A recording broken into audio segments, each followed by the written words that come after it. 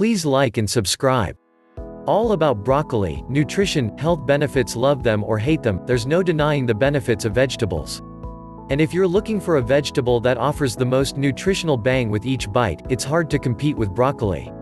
Whether you've already discovered the deliciousness of this edible green plant, or you're thinking about incorporating more of it into your diet, here's everything you need to know about broccoli. Defining broccoli, what exactly is this buzzed about veggie?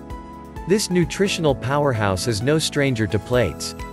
Even if you haven't delighted your taste buds with broccoli, you can probably identify its green stalk and green flowering head in a lineup of other vegetables. It's a staple in just about every produce section. But what's interesting is that broccoli is a fairly new crop in certain parts of the world. Believe it or not, broccoli didn't become widely popular in the United States until the 1920s, and it didn't make its way to England until the 1700s. 1. This vegetable is native to the Mediterranean, and it was originally cultivated in Italy. 1. It's a cruciferous vegetable that shares ancestry with other flowering plants, including cabbage, cauliflower, Brussels sprouts, and kale. 2. What are the evidence-based health benefits of broccoli? Now that you know the nutritional rewards of broccoli, let's see how these nutrients, vitamins, and minerals can help benefit your body. 1. Helps fight cancer Cancer occurs when malignant cells develop and spread throughout the body. While modern medicine helps kill cancerous cells, don't underestimate the cancer-fighting potential of broccoli. This vegetable may help reduce your risk of certain cancers, like lung cancer, stomach cancer, and colon cancer. 4. This is due to a compound in broccoli called isothiocyanates, which helps decrease inflammation.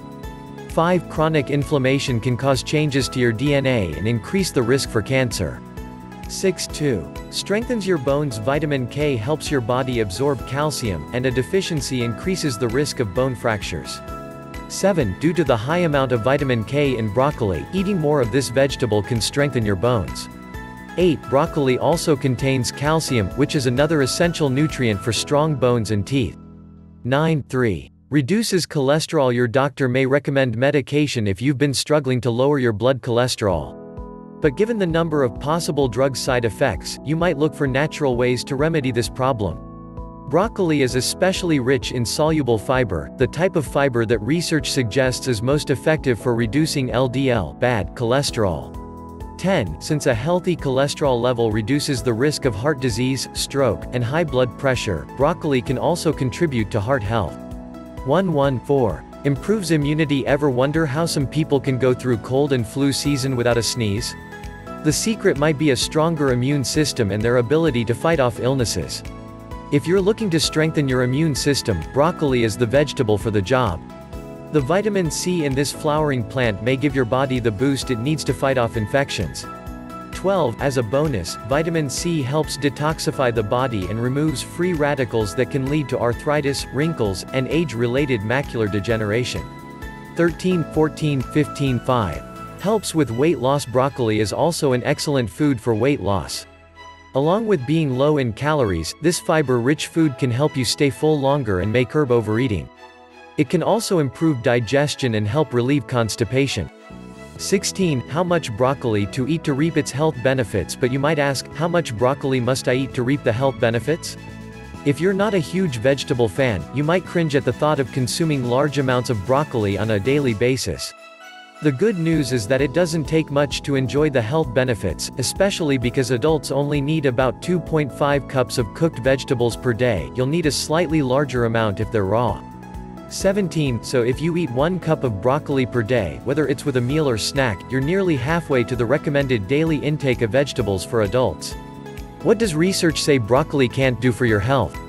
Although broccoli has myriad health benefits, it's not a miracle vegetable or a cure-all. There's no single food to guarantee good health. 18. Other factors decide your overall health, too. These include lifestyle and genetics. So eating broccoli doesn't mean that you'll never get ill. Even so, incorporating as many healthy foods into your diet as possible may play a role in disease prevention. Are there any health risks to eating broccoli? If you take blood thinning medication, talk to your doctor before adding more broccoli to your diet. Broccoli contains vitamin K, which helps the blood clot. 19. Therefore, consuming large amounts of broccoli may reduce the effectiveness of anticlotting medications, such as warfarin, Coumadin and Jantoven. If your doctor says it's okay to eat broccoli, find out how much of the veggie you can safely consume. The amount can vary depending on the individual, but in general, keeping overall intake of vitamin K relatively consistent from day to day is best. Types of broccoli and how they differ from one another When you go to the grocery store, you may only see one type broccoli, depending on where you live. So naturally, you might think this is the only type. But broccoli is so much more than what you may see in the produce section. There are two main types of broccoli, and their differences stem from when they are harvested. Calabrese broccoli has a thick stalk and is harvested after summer, when the temperatures become cooler. Sprouting broccoli can be identified by its thin stalks. It's usually harvested in the winter. 20 creative tips for cooking and serving broccoli at home Before you say that broccoli is boring, consider the many ways to prepare this vegetable. If you want to include more broccoli in your diet, it's important to change up your recipes, otherwise, you'll get tired of the vegetable. Fortunately, there are tons of broccoli recipes out there, from dips to salads to soups. Don't feel like turning on the stove? No problem. Pick up fresh broccoli from the store and eat it as a snack. Add a bit of flavor with hummus or homemade yogurt dip. Thinking about broccoli for dinner? You can eat broccoli several times a week and prepare it differently each time. Add olive oil and garlic to a pan and sauté your broccoli. Steam or stir fry until it softens and season to taste. Or for a crispier alternative, roast your broccoli in the oven. Because broccoli is so versatile, you can eat it with just about anything. If you're on a diet or watching your calorie intake, add raw broccoli to salads. It also makes the perfect side dish. Sauté, steam, or roast broccoli for dinner, and eat it alongside beef, chicken, pork, or tofu. Or pair it with another vegetable or a starch like rice or potatoes. Many casseroles include broccoli as an ingredient. And if it's cold outside, whip up a broccoli and cheese soup or a broccoli potato soup. The cancer, inflammation, oxidative stress, detox connection in health science research, there is a growing body of evidence relating cancer risk to a series of environmental, dietary, and body system factors. Understanding this set of factors can be very helpful in making sense of broccoli and its health benefits. Anti-inflammatory benefits of broccoli when threatened with dangerous levels of potential toxins, or dangerous numbers of overly reactive, oxygen-containing molecules, signals are sent within our body to our inflammatory system, directing it to kick in and help protect our body from potential damage. One key signaling device is a molecule called NF-kappa B. When faced with the type of dangers described above, the NF-kappa B signaling system is used to rev up our inflammatory response and increase production of inflammatory components for example, IL-6, IL-1-beta, TNF-alpha, INOS and COX-2. This process works beautifully in temporary, short-term circumstances when healing from injury is required. When it continues indefinitely at a constant pace, however, it can put us at risk for serious health problems, including the development of cancer. Isothiocyanates ITCs in broccoli research studies have made it clear that the NF-kappa B signaling system that is used to rev up our inflammatory response can be significantly suppressed by isothiocyanates ITCs. ITCs, the compounds made from glucosinolates found in broccoli and other cruciferous vegetables, actually help to shut down the genetic machinery used to produce NF-kappa B and other components of the inflammatory system. These anti-inflammatory benefits of ITCs have been clearly demonstrated in lab and animal studies. However, it can sometimes be tricky to translate the results of these lab and animal studies in practical takeaway recommendations for everyday eating. The primary anti-inflammatory ITC provided by broccoli is sulforaphane. This ITC can be directly produced from broccoli's glucoraphanin content. Numerous anti-inflammatory mechanisms for sulforaphane are well known, including inactivation of the NF-kappa B pathway. In this context, it is interesting to note that the predominance of sulforaphane in broccoli is limited to the heading version of this vegetable. Also widely enjoyed worldwide is non-heading broccoli, often called sprouting broccoli, broccoli rabe, broccoli rabe, or rapini. In these non-heading varieties of broccoli, iberin is the most common ITC, and it is derived from glucoiberin, which is one of the more common glucosinolates in non-heading broccoli. Yet another anti-inflammatory compound present in both heading and non-heading varieties of broccoli is glucobrassicin. And in this case the corresponding ITC derived from glucobrassicin is indole-3-carbinol. Omega-3s in broccoli lack of omega-3 fat is dietary problem that can cause overactivation of the inflammatory system. The reason is simple, many key anti-inflammatory messaging molecules like PGH3, TXA3, PGI3, and LTB5 are made from omega-3 fats. While we are not accustomed to thinking about non-fatty vegetables as sources of omega-3 fats, it would probably be a good idea for us to change our thinking in this area. While there are limited amounts of omega-3s in low-fat vegetables like broccoli, it is equally true that their levels of omega-3s can still play an important role in balancing our inflammatory system activity. In 100 calories worth of broccoli, about 2 cups, there are approximately 400 milligrams of omega-3s in the form of alpha-linolenic acid, or ALA. That amount of ALA falls into the same general ballpark as the amount provided by one soft gel capsule of flax oil. While we would not want to depend on broccoli as our sole source of dietary omega-3s, we still get important anti-inflammatory benefits from the omega-3s it provides. Other anti-inflammatory benefits of broccoli Broccoli is a rich source of one particular phytonutrient, a flavonol called kaempferol. Especially inside of our digestive tract, kaempferol has the ability to lessen the impact of allergy-related substances by lowering the immune system's production of IgE antibodies. By lessening the impact of allergy-related substances, the kaempferol in broccoli can help lower our risk of chronic inflammation. Broccoli's antioxidant benefits vitamins, minerals, and phytonutrients all contribute to the antioxidant benefits provided by our food.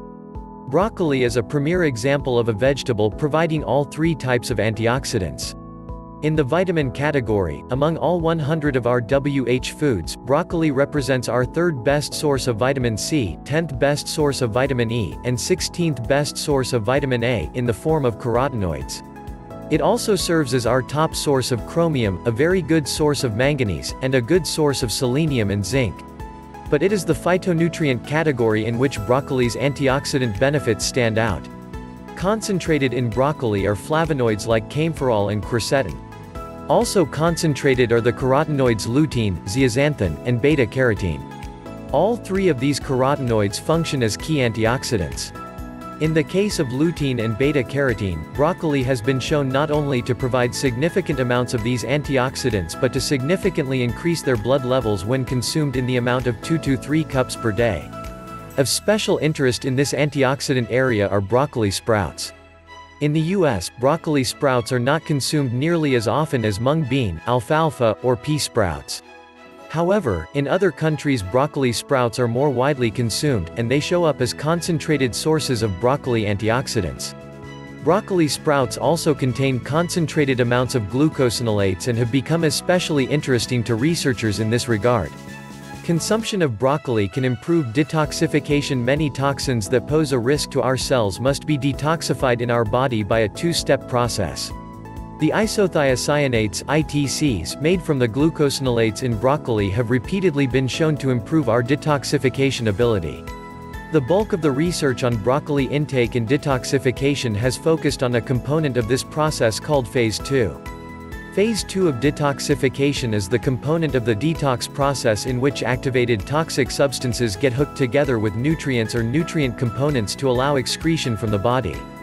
Importantly, the glucosinolates in broccoli, and their isothiocyanate derivatives, are known to activate phase 2 detox activity in our cells. This activation is typically mediated through a pathway called NRF2. Because broccoli components can activate phase 2 detoxification, they can help us prepare potentially toxic substances for elimination from our body. This enhancement of phase 2 detoxification appears to occur with commonly consumed amounts of broccoli falling in the 1 to 2 cups per day range. Broccoli and cancer prevention The unique combination of antioxidant, anti-inflammatory, and pro-detoxification components in broccoli make it a unique food in terms of cancer prevention. Connections between cancer development and oxidative stress, chronic inflammation, and inadequate detoxification are so well documented in the research that any food improving all three of these metabolic problems would be highly likely to lower our risk of cancer. In the case of broccoli, the research is strongest in showing decreased risk of prostate cancer, colon cancer, breast cancer, bladder cancer, and ovarian cancer. We expect that risk reduction for other types will also eventually be shown to take place from regular consumption of broccoli. How much broccoli is needed for cancer prevention? Recent studies have also provided us with a much better idea about the amount of broccoli that we need to lower our cancer risk. At the lower end of the spectrum, it looks like an average of one half cup of broccoli per day, only 22 calories worth of broccoli, is enough to provide some measurable benefits. Few people have broccoli on a daily basis. But a 2-cup serving twice a week would still meet this minimum average amount. It's important to remember how little this amount actually in within the context of one week's food. A person eating 2,000 calories per day would be consuming 14,000 calories per week. A 2-cup serving of broccoli twice a week would provide about 178 calories, only 1% of the total weekly calories.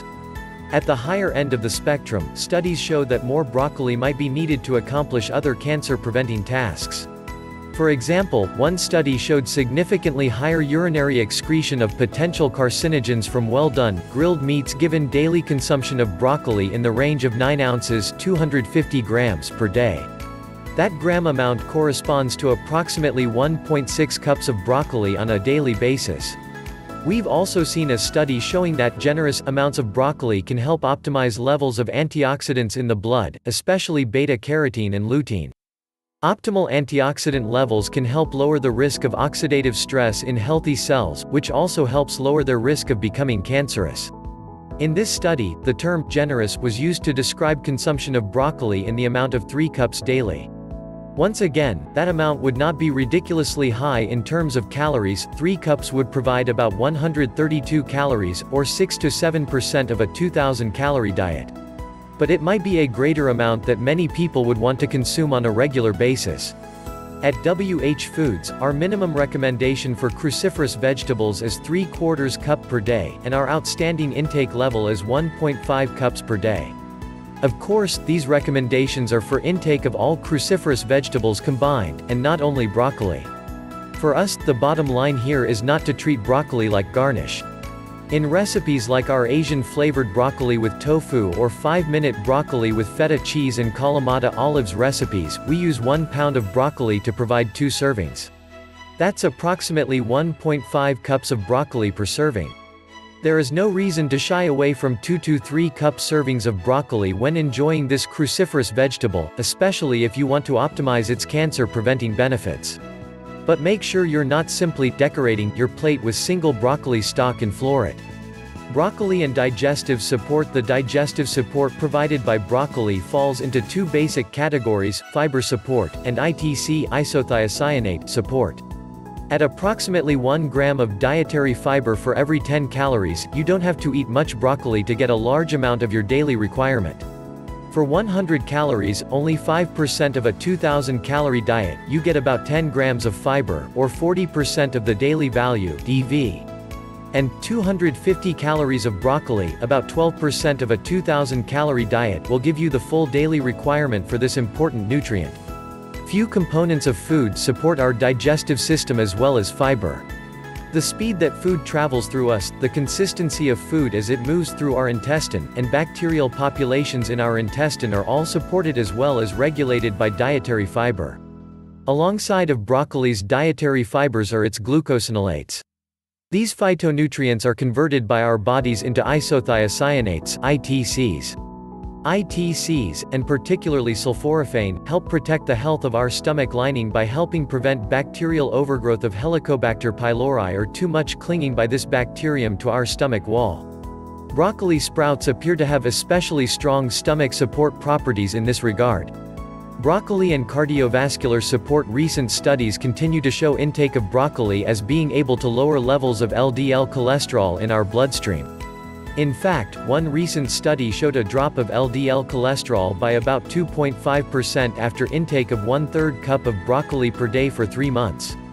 That's a fairly quick drop and a fairly small amount of broccoli, especially since our minimum daily recommendation at WH Foods for cruciferous vegetables including broccoli is 3 quarters cup. This basic relationship between broccoli intake and LDL reduction holds true for both raw and steamed broccoli. However, recent studies also show a stronger link between intake of steamed broccoli and LDL cholesterol reduction than between LDL reduction and intake of raw broccoli. Yet, owing to the new transition in thinking about the role of LDL reduction for our health, the implication of this benefit isn't clear.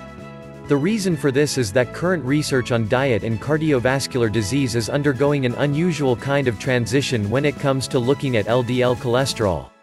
For example, one medical study has found that individuals with high LDL cholesterol levels tend to live as long, and sometimes longer, than individuals with average or low LDL levels.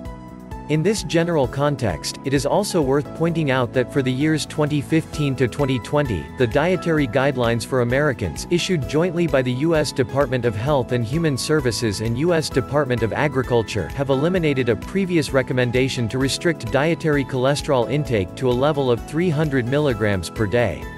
This change in the recommendations is the result of a changing medical perspective on the role of blood cholesterol, including LDL cholesterol, as a factor in cardiovascular disease. While we remain highly confident about the cardiovascular benefits of broccoli, we suspect that the reasons for these health benefits are going to start pointing less and less to cholesterol management and more and more to better control of inflammation and decreased oxidative stress within our blood vessels. We also suspect that the phytonutrients in broccoli will become increasingly important in our understanding of broccoli intake and reduced risk of cardiovascular disease, and that these phytonutrients will become better understood in their role as modifiers of cell signaling and communications related to our cardiovascular health.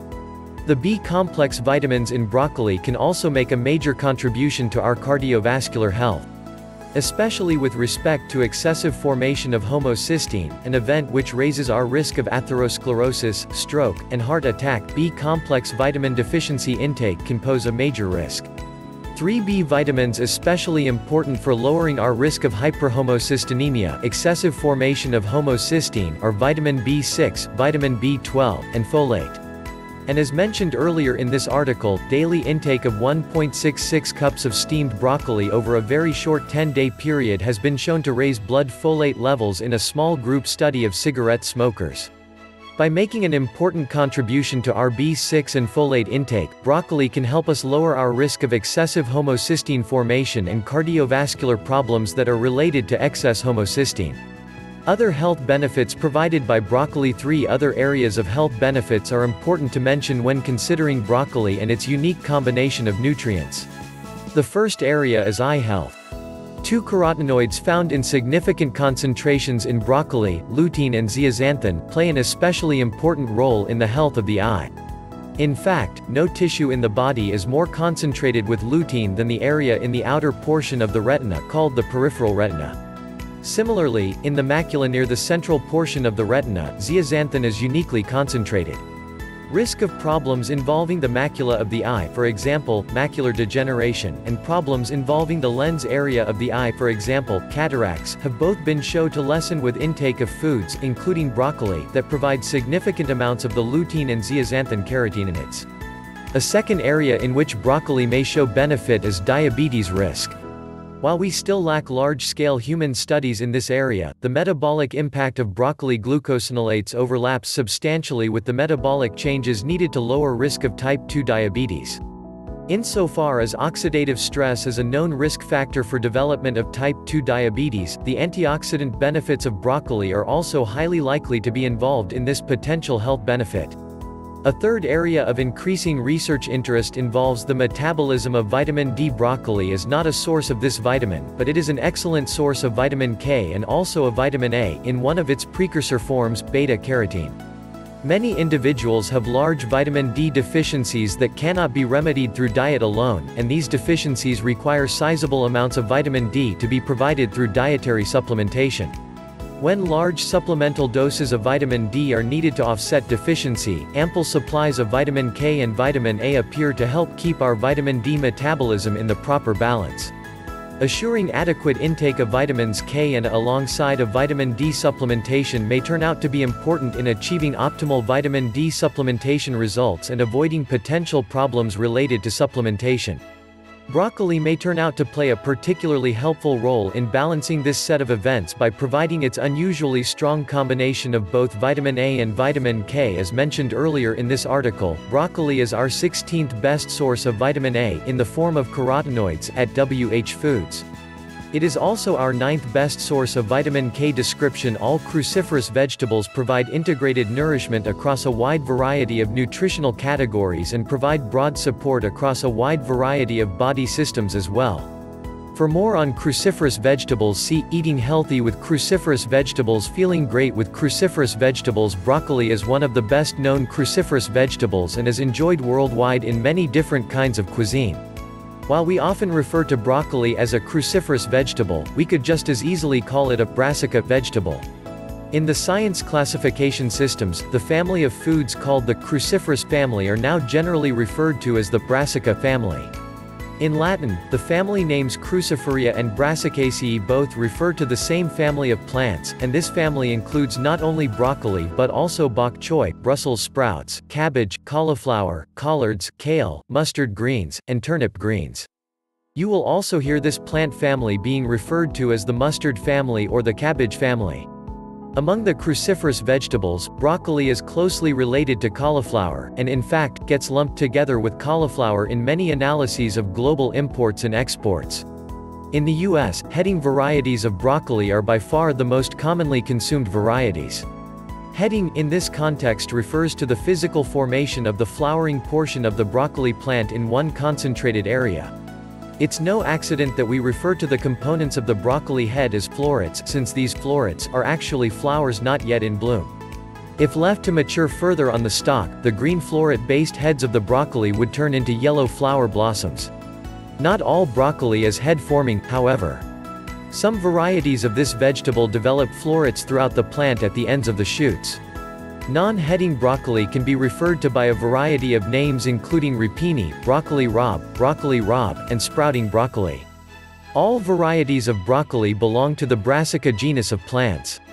Heading varieties of broccoli typically belong to the Oleracea species of this genus, and non-heading varieties usually belong to the Rapa species. The number of subspecies for broccoli is quite large, and involves dozens of different cultivars. In terms of color, broccoli varieties can range from deep sage to dark green to purplish green. Popular varieties of broccoli enjoyed in the US include Calabrese and DeCicco, and you can recognize the Italian origins of these varieties in their Italian-sounding names.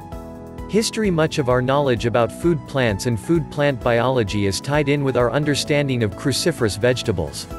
The Cruciferae Brassicaceae family of plants is found on virtually all continents and it is particularly diverse and plentiful in the Mediterranean area of Europe, the central and western areas of Asia, and the western half of North America. Some of the more recent aspects of this vegetable's history involve its cultivation in Europe and transport to North America. Within a broader historical context, broccoli started out as a form of wild cabbage, and it took centuries of selective planting and agricultural practice to allow for its evolution into the familiar varieties that we enjoy today. While broccoli is grown commercially in many states throughout the U.S., about 90% of U.S. production takes place in the state of California.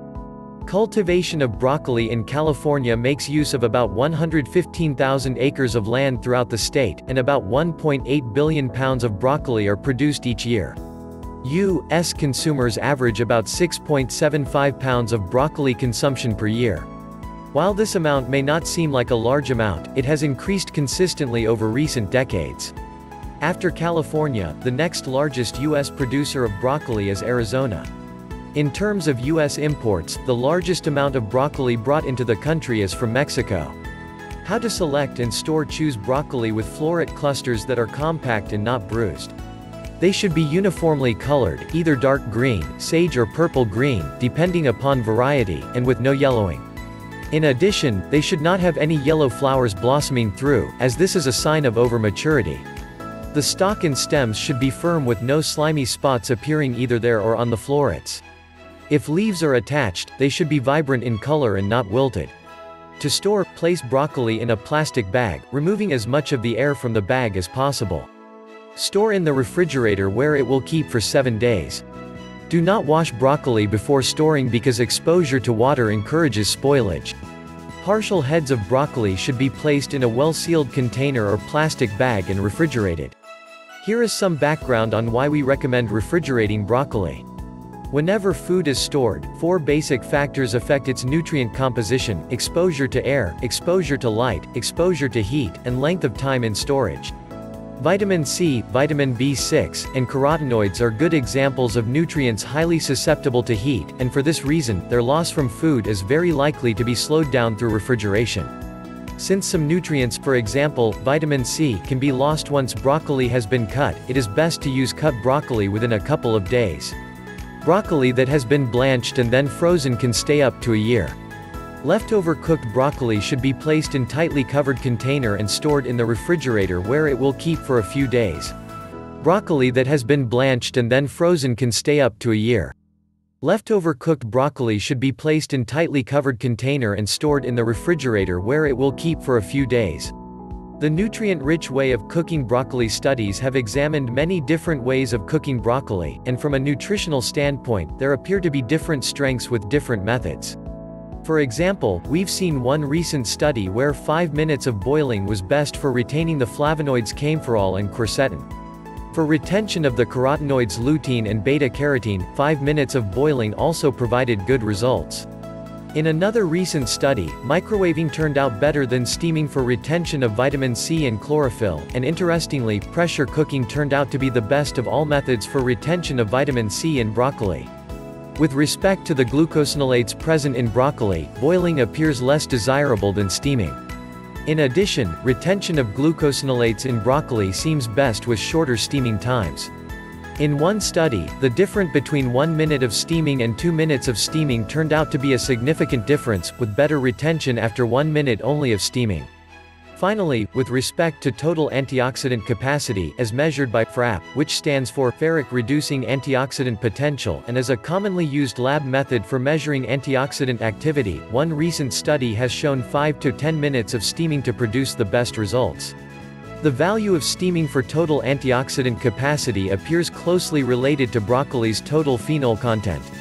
As you can see by the research results above, the nutritional impact of various cooking methods for broccoli depends on the specific nutrient in question, and different methods have different strengths in terms of nutrient outcome. At WH Foods, we recommend quick steaming as the best cooking method for broccoli. We chose this method because we believe it provides the best possible trade-off between flavor, texture, and nutrition. Studies make it clear that short-duration steaming is a great way to preserve total antioxidant capacity and total phenol content. And while other cooking methods may do a better job preserving specific nutrients like quercetin and kaempferol, or even vitamin C, we still like the overall results of steaming best, and believe that some of the nutrient trade-offs are definitely worth making given the superior results in terms of flavor and texture. For most every cooking method, some nutritional trade-offs can be found in the research. At WH Foods, we believe those trade-offs should leave you more delighted with the final results and enjoying these wonderful foods more frequently. Here are some specific steps you'll need to take when cooking broccoli. Since the fibrous stems take longer to cook, they can be prepared separately for a few minutes before adding the florets. For quicker cooking, make lengthwise slits in the stems. While people do not generally eat the leaves, they are perfectly edible and contain concentrated amounts of nutrients. Fill the bottom of a steamer pot with 2 inches of water. While waiting for the water to come to a rapid boil prepare broccoli florets and stems. Steam stems for 2 minutes before adding the florets and leaves. Steam for 4 more minutes. Toss with our Mediterranean dressing and top with your favorite optional ingredients.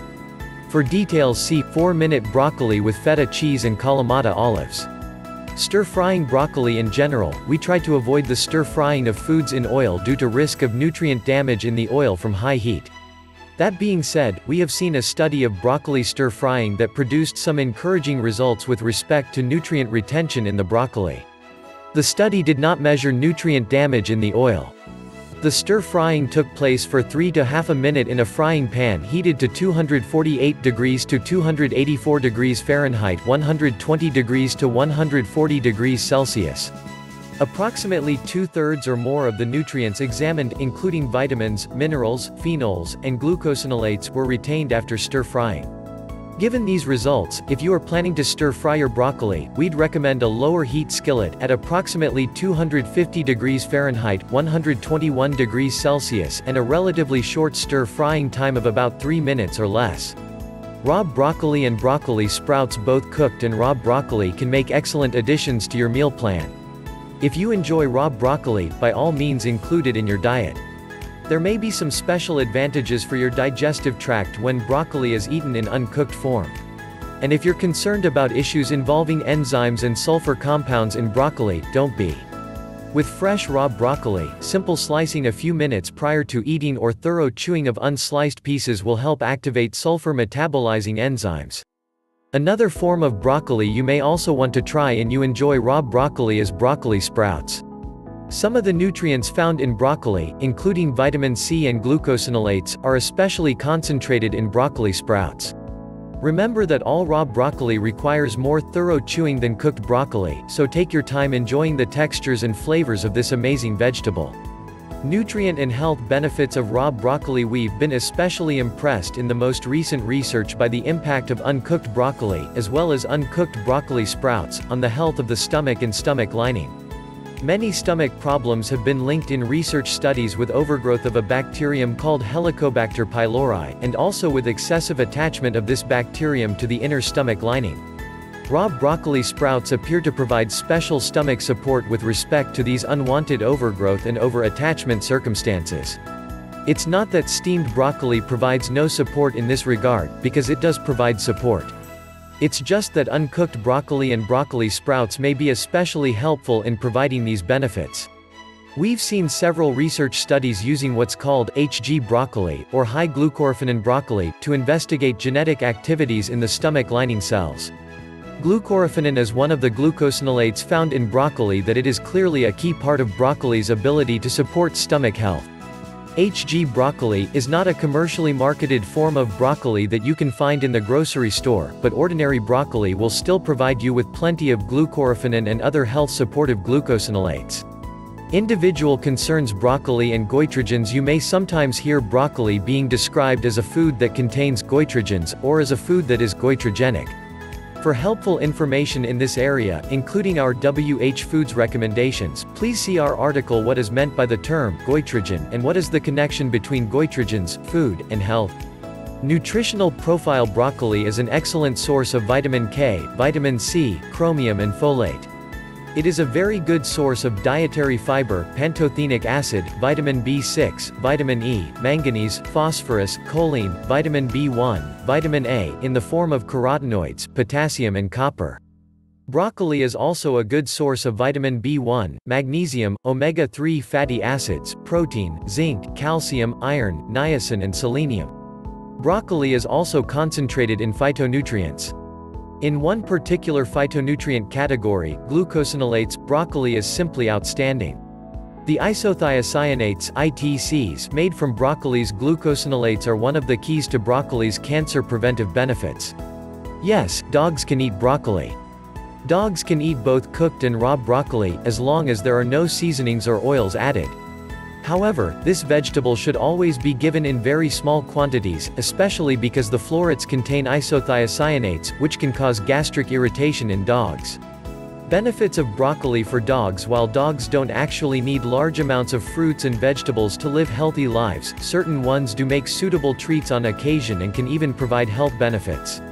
Broccoli is high in fiber and vitamin C and low in fat.